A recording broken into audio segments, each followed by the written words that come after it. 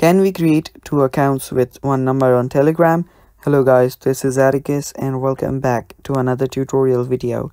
In today's video, I'll answer a question which you many of you might must be asking a lot of times. That is, can we create two accounts with one number in Telegram? So let's begin. So as you can see, Telegram is one of the most secure messaging medium or messaging app that most people use so if you're wondering if you can create multiple accounts using a single phone number, this video is for you. So here you can see Telegram. You can just head over to your profile and right under your profile, you should find your phone number.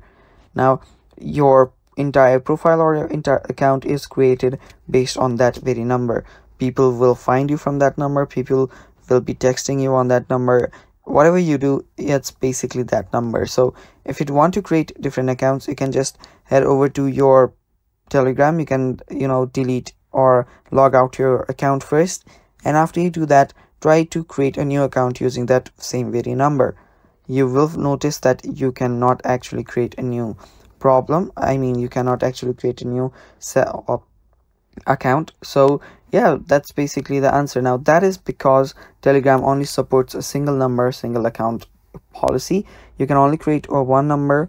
You can i mean you can only create a single account using a single number. If you want to create a another account you will have to create i mean get a new number. So i hope this answers your question guys that you cannot create multiple accounts with one number on telegram.